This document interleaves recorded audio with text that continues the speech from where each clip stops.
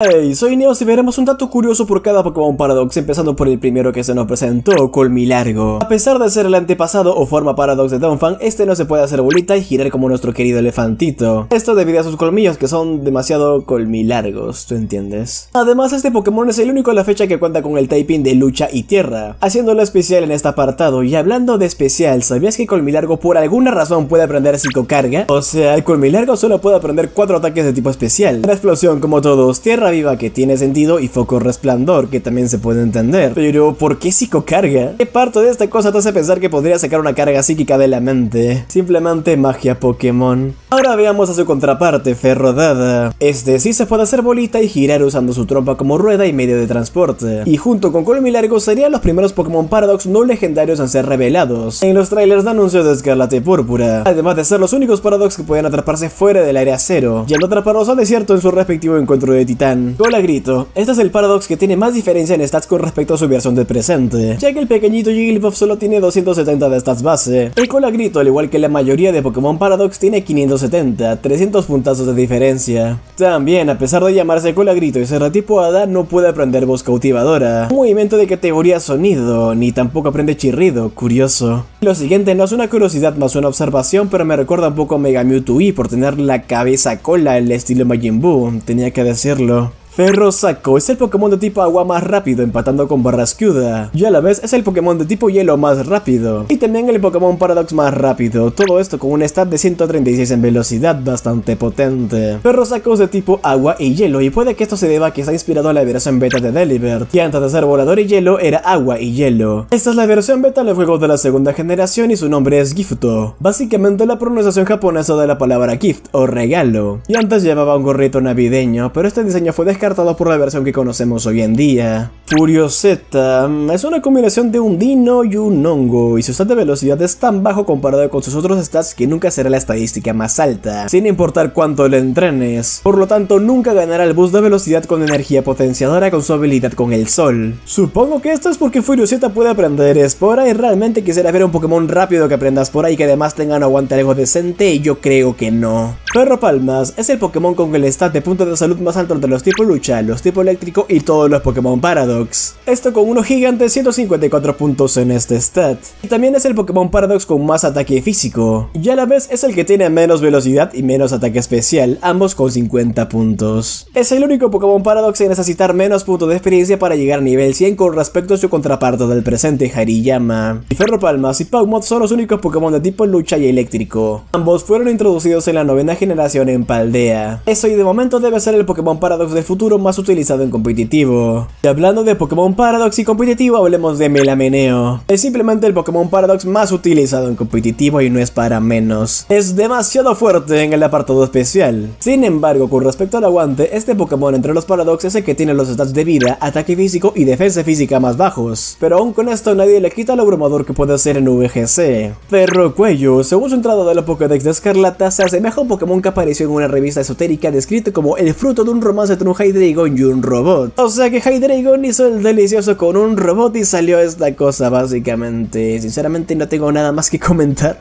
Reptalada, tenemos a nuestra polilla peluche bebé, mira lo que bonito es. De tipo lucha y bicho. Y ya que estamos, deja un comentario diciendo yo le gano, si crees que le ganarías una pelea uno a uno reptalada. Vamos, ¿ya lo hiciste? Pues ahora te contaré que no es tan peluche, ya que tamaño es el Pokémon de tipo bicho más grande y también el Pokémon de tipo lucha más grande. Está midiendo 3.2 metros, wow. El que sea un peluchito no te engañe, porque tiene el mismo stat de ataque físico que Coraidon, con 135 puntos. Así que así esta polilla pega muy pero muy duro. Pero ahora veremos a su primo del futuro, Ferropolilla. Es el único Pokémon Paradox que tiene el tipo veneno. Y a pesar de ser parientes de Volcarona, entre Ferropolilla y Reptalada no comparten ningún tipo. Pero igual esto los hace más especiales si me lo preguntan, sobre todo porque me encanta Volcarona. Pelarina, este debe ser el Pokémon Paradox que levantó más polémica, ya que en cierta parte de su existencia no tiene mucho sentido, si se supone que Magnemite y su línea evolutiva son Pokémon artificiales. Con esto dicho, no debería tener un antepasado, y por un lado puede que efectivamente no tenga lógica, no por nada se llama un Pokémon Paradox, o sea... Pero por otro lado de la naturaleza también se encuentran metales que ya cuentan con esta característica de imán, como la magnetita, así que supongo que este Pokémon tiene inspiración en eso. Pero tú qué crees, déjamelo saber en los comentarios. Ferro Púas, el Mega Godzilla Canon de Pokémon al fin está aquí, haciendo referencia a esta gigante máquina que imita el Kaiju más popular. O eso pensarías hasta que te enteras que mide 1.6 metros. Y sí, los Pokémon Paradox del futuro son conocidos por ser más pequeños, pero no te la esperabas, ¿eh? Y si quieres otro dato curioso, este es el Pokémon Paradox que menos me gusta. Creo que Tiranitar no necesitaba algo aparte para ser honesto. Y ahora pasamos a los Pokémon Paradox más poderosos, pero antes de contártelo no olvides suscribirte para más de Pokémon. Y si ya estás suscrito y te gusta mucho lo que hago, considera hacerte miembro del canal en el botón de abajo que dice unirse. De esta manera apoyas directamente al canal y obtienes los emojis exclusivos y una Pokéball que acompañará tu nombre. Y aprovecho para agradecer a Khan, Steven, Shadow y Shiraki por tener el rango de campeón y a los miembros del canal del rango alto mando. De verdad mil gracias por su apoyo y con esto dicho sigamos con el video porque ahora hablaremos de Brahma Luna. Sí, tiene un gran parecido con Mega Salamence pero sus stats son menores que los del Salamence regular. El Paradox con 590 y Salamence con 600. Esto y este Pokémon es una gran opción para atrapar el Luna Ball, simplemente le queda perfecta, mires por donde lo mires. Ferro Paladín es el único Pokémon de tipo lucha y hada y el único Pokémon Paradox basado en dos Pokémon a la vez. Una verdadera curiosidad es que por alguna razón este Pokémon puede aprender el movimiento intercambio, el cual es completamente inútil porque la habilidad de los Pokémon Paradox no se puede intercambiar. Supongo que esto ha hecho pensar a muchos que los Pokémon Paradox tendrían habilidades ocultas más adelante con el DLC, pero simplemente no fue así, quién sabe por qué le habrán dejado de intercambio. Ondulawa, supongo que es la primera forma alterna de un legendario de Yoto de la línea principal, aunque de formas alternas de Yoto supongo que podemos contar a Dark Lugia, pero no.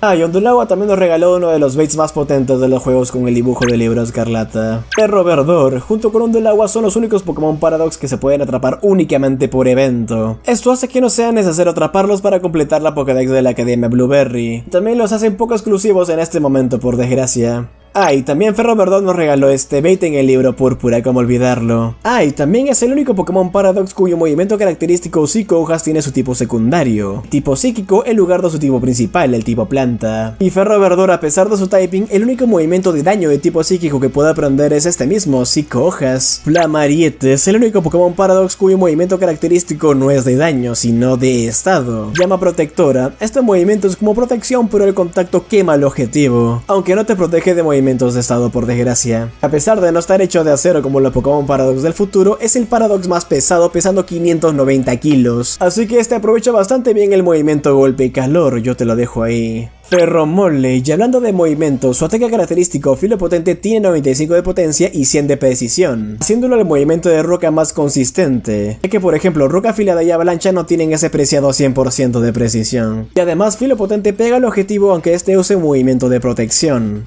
Y también gana 50% de potencia si el Pokémon que lo usa tiene la habilidad cortante, lo cual no tiene sentido ya que el único Pokémon que aprende este movimiento es Ferromole y este no tiene esa habilidad, pero es lo que es. Y de los Pokémon Paradox que legendarios, Ferromole y Flamarite son los únicos que nunca fueron revelados oficialmente en anuncio o tráiler, simplemente los dejaron como sorpresa para el mismo gameplay. Tú ya me dirás si esto te parece bien o mal. Electrofuria es el Pokémon de tipo eléctrico más pesado y más alto, aunque no entraría ni en el top 10 de Pokémon más grandes, ya que solo mide 5.2 metros y por ejemplo Onix mide 8.8, solo por poner un ejemplo, y ese debe ser el Pokémon Paradox más criticado por su diseño, aunque en este canal ya tenemos todo un video explicándolo y te lo dejo en la tarjeta arriba a la derecha. Ferrotesta, debido a las grandes críticas de Electrofuria, Ferrotesta debe ser el Pokémon Paradox que recibió menos hype por parte de la comunidad. Y bueno, su diseño está bastante bien, pero no se volvió tendencia como Electrofuria, pobre Ferrotesta. Al menos está bastante potente y competitivo. Coraidon, también conocido como Rey Alado, el dato curioso es que esa wea en su pecho no es una rueda y por eso no la usa para moverse. Es solo un apéndice que parece una rueda. Espero haberte cambiado la vida. Eso, y a pesar de poder volar y nadar por el agua, no aprende ni vuelo ni surf. De hecho, no aprende ningún movimiento de tipo agua. Iraidon o Ferromandra para los panas. Es el Pokémon de tipo eléctrico con la defensa especial más alta con 135 puntos. Y es de los pocos legendarios en estar en Pokémon Unite. Junto con Coraidon son los únicos Paradox con habilidades diferentes que atienden las habilidades de los demás Pokémon Paradox en su respectiva era. Y sí, Coraidon y Miraidon son tanto Pokémon Paradox como Pokémon legendarios. No sé por qué existe tanta polémica al respecto, pero si quieres saber más, hace mucho tiempo hicimos un video hablando justo de este tema. Te lo dejo en la pantalla para que vayas a verlo ahora mismo. Y si tienes algún otro dato curioso de los Pokémon Paradox, déjamelo saber en los comentarios y yo con esto me retiro.